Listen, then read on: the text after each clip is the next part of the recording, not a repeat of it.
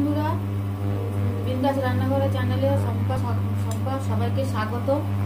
আজকে আমি আর একটা মুখরোচক রেসিপি নিয়ে এসেছি। তো টক ঝাল, মিষ্টি, আমি আচার চাটনি বানাবো।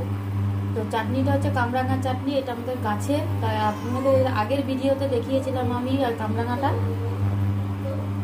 তো দেখুন, বেশ ভালোই বড় হয়েছিল কামরাঙাটা। আর দিয়ে দেবো কটা টমেটো। এখানে আমি তিন চারটে টমেটো কেটে রেখেছি। টমেটো দিয়ে, কামরাঙা দিয়ে আমি চাটনি বানাবো। নিয়ে নিয়েছি গুড়, আর নিয়েছি সর্ষে, আর একটা শুকনো লঙ্কা। তো চাটনিটা হবে, মুখরোচকই হবে, একটু টক ঝাল মিষ্টি হবে। তো আমি প্রথমে কড়াইতে তেল দিয়ে দিচ্ছি। আর চাটনিটা বানাতে আমি সর্ষের তেল ব্যবহার করব।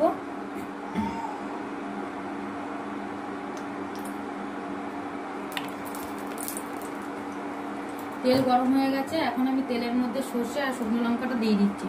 শুকনো লঙ্কাটাকে আমি একটু হাত দিয়ে ভেঙে দিলাম। আর অল্প সর্ষে দিয়ে দেবো।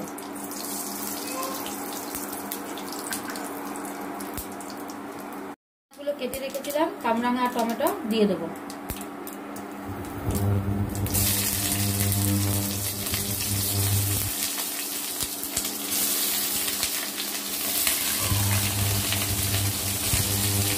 দিয়ে নাড়াচাড়া দেবো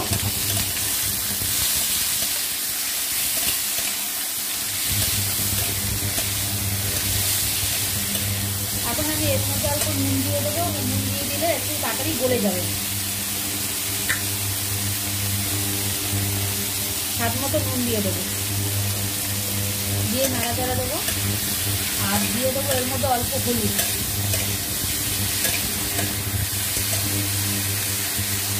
ঘরে থাকা ঘরে থাকা উপকরণ দিয়ে আমি চাটনিটা তৈরি করছি।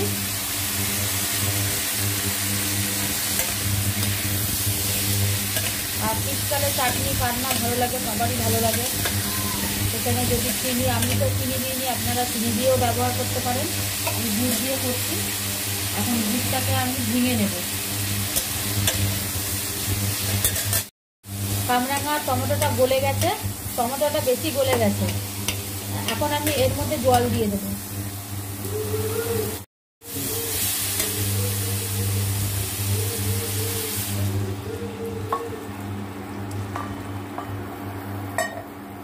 আমি জল দিয়ে দিলাম।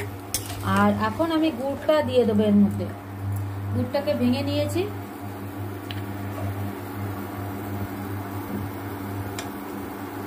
এইটা আপনারা চাইলে চিনি দিয়েও করতে পারেন। চিনি দিয়েও করলে ভালো লাগবে।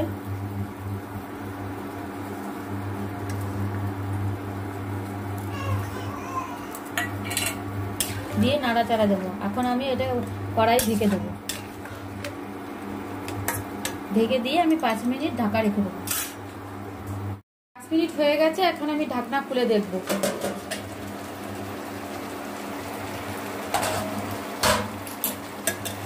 চাটনিটা হয়ে গেছে। দেখুন কত সুন্দর কালারটা হয়েছে। তো এইভাবে আপনারা কামরাঙা চাটনি করে খাবেন, খুবই ভালো লাগবে, টক ঝাল মিষ্টি। তো আমি এখন নামিয়ে নেব।